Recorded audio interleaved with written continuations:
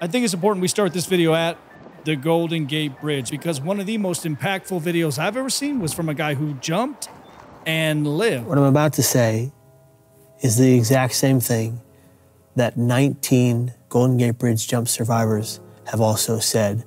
The millisecond my hands left the rail, it was an instant regret. This is how cynical I am. I started walking on the bridge. I looked over and realized there's a net. Did this guy just jump off into a net and give himself a gold star? Turns out San Francisco just sucks. Over 2,000 people have jumped and not made it, and they still had no idea what to do until Topgolf came up with the advanced net technology.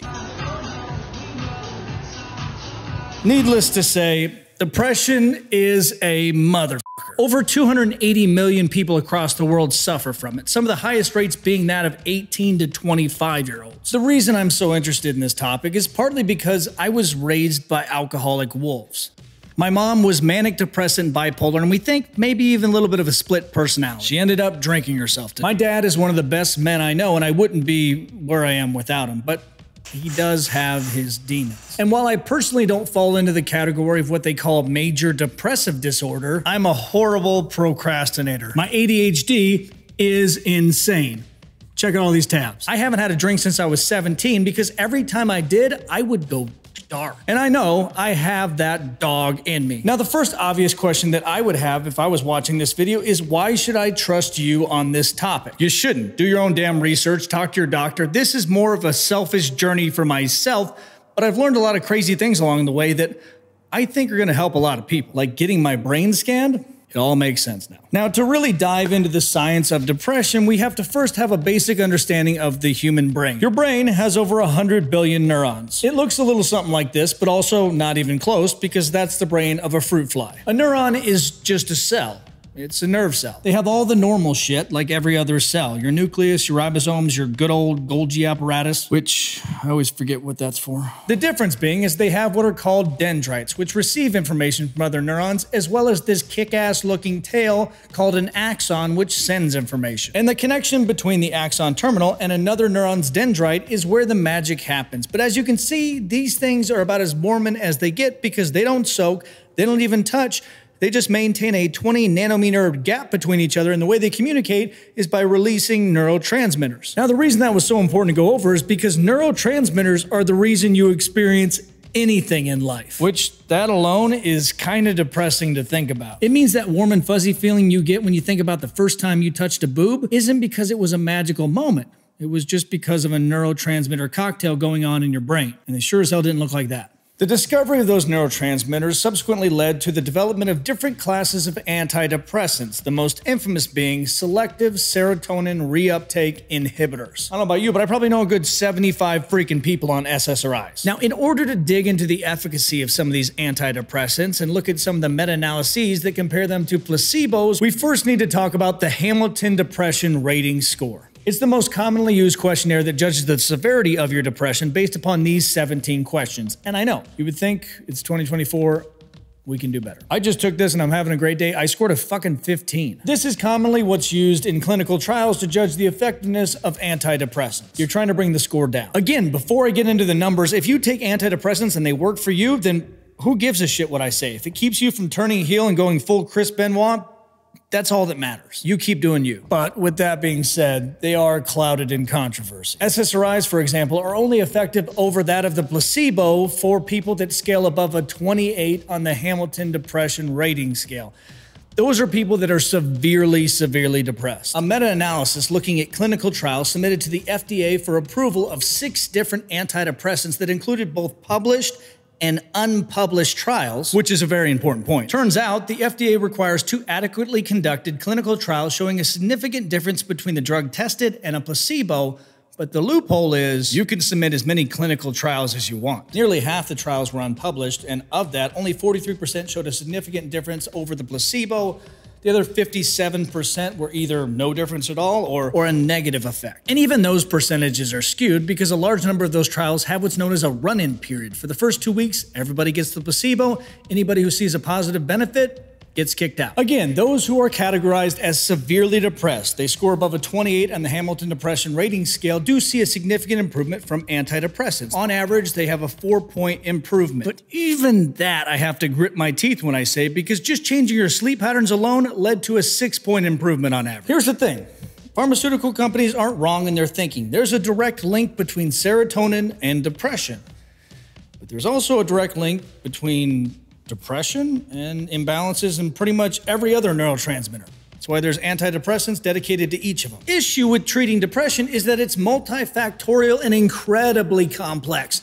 So much so, have you ever heard of SSREs? Selective serotonin reuptake enhancers. They're exactly what they sound like and the exact opposite of SSRIs. So you would think if someone with depression took those, they would get even worse. But they don't. The effects are virtually identical to SSRIs. Kind of fuckery is this? I think that fact alone sheds light on why antidepressants are less effective than advertised. It comes down to correlation versus causation. The original chemical imbalance theory was based upon the fact that they took blood from a bunch of people with major depressive disorder and realized they had low serotonin levels, so they thought that must be the cause. When in reality, it was probably more of a contributing factor. That's like saying the fact that you haven't seen your dad since that one morning he went out to get milk is because every store must be out of milk instead of the truth that you're a disappointment. Even if you disregard all of that, I think the biggest issue I have with them is that over 90% of the serotonin produced in your body is produced in your gut. And when you take SSRIs, they have an antimicrobial effect. So over time, it lowers your gut biome, which we know causes digestive problems, sleep issues, infections, and wouldn't you know it, mood disorders. They are literally causing the thing they are attempting to fix. So, if those medications are only viable for a small population of people, then what should we look into next? The beautiful part about this channel is I've been able to develop a community that turns out is just as messed up as I am. I sent out one email about depression, and what I got back were hundreds of emails from people with their own personal experiences and things that they've taken that have helped them along the way so let's get into it. I read through every goddamn illiterate email that you guys sent and categorized them. The first one I'm going to label as deficiencies. They were your vitamin D's, your L-carnitines, magnesium. These are the things that have been linked to depression if you don't get in or have a adequate amount. Now, in the past, I would have said this is an easy fix. Let's just start supplementing all of these and basically throw at the wall and see what sticks. I didn't really think about the logistical side of filming this shot until after I did it. It was a bad choice.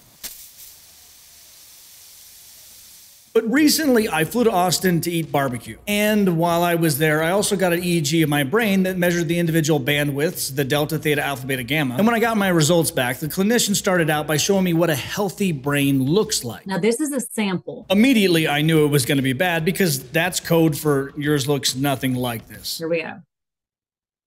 So, this is a low voltage EEG. No shit. I'm not a Sylvan Learning Center alumni, and I didn't have to stay every day at recess to practice cursive because I'm a baby fucking genius. I get so distracted researching for these videos, I have Mr. Beast read me the case studies. Mental health concerns, microdosers exhibited lower levels What was most fascinating for me, though, was when she said, You see these little bumps here? One of these bumps is your MTHFR mutation gene. MTHFR, which is also known as the motherfucker gene, is a catalyst that helps convert the folate that you ingest into the biologically available version that is required for the production of neurotransmitters like dopamine and serotonin. Which is wild to me that in the process of doing research about depression in the hopes of helping other people, I might have figured out why I feel nothing. Which brings me back to my original point that if I continued that shotgun method of taking any supplement that's ever been linked to depression, I would have inevitably ended up on B vitamins and if I was more of a trusting individual, I very easily could have bought them from Costco and ended up with the Super B complex, which has regular old folate in here. It's not methylated, and it would have made things even worse. So, what would I recommend you do? Exactly what I'm gonna do. I'm going to get an ALCAT test, which is going to see if any food I've been ingesting is causing any chronic inflammation or gastrointestinal issues because both of those things have been linked to depression. Also, a micronutrient deficiency test that will identify different vitamins, minerals, aminos, yada, yada, yada. That way I can have a custom supplement built for how uniquely screwed up I am. And finally, I'm gonna get a methyl detox panel that will identify the type and severity of that motherfucker gene mutation. And then again, I can get a custom supplement made that will ensure proper nutrient use without taxing my already jacked up conversion processes. Because left unchecked, that gene mutation, which it's been estimated that 40% of the population has, leads to high homocysteine levels, which has been associated with heart disease, stroke, neurological issue. Because as much as I would love my wife to spend the last 10 years of her life wiping my ass, I want to be a part of that inside joke. Otherwise, what's the point? Now, there were some emails from people with suggestions that I'm just going to categorize as shut up and do it. The first one is make sure your diet has enough L-tryptophan. That should be easy for anybody who's a meat eater, but I was vegan for five years and that probably led to my demise. And supplementing has been shown to be not as good as getting it from whole food sources. It's involved in the synthesis of serotonin. The other thing on the list is creatine. I know. Woo, creatine. Not the most exciting, but even with people who have adequate levels, it's been shown to boost your brain's capacity to produce ATP. So just take it. Shut the fuck up. The last set of suggestions and emails I got from people is what I would categorize as when shit hits the fan. What do you do when you're in a deep depression? How do you pull yourself out of the darkness? There was three recommendations that I got over and over again that the science definitely backs up, one of which I keep in my freezer at all times just as a breaking case of emergency.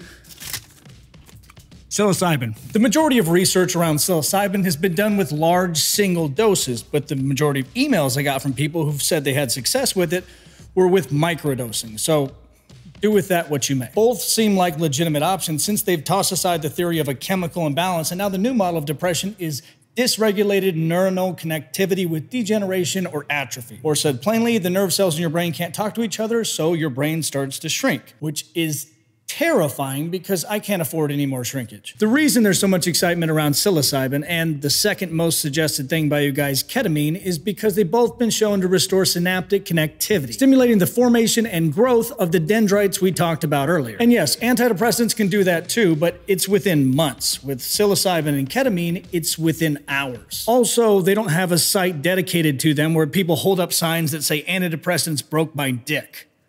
So that's good. The last one should be an obvious one based upon the people that watch this channel, but it's working out. I did find an interesting study that showed the level of the antidepressant effect of your training was based upon the intensity that you trained with, which gave me a brilliantly dumb idea to make the next training program I produce one where we just kill ourselves for 30 days who gives a shit? You'll grow probably, but it's more about hurting yourself in a healthy antidepressant like way. We'll call it something fucked up too. For the next two months, I'll be doing transcranial magnetic stimulation therapy, so I'll let you know how that goes. As always, programs are linked below, so if you need to build muscle, buy one of those. And most importantly, don't forget, there's beauty even in darkness.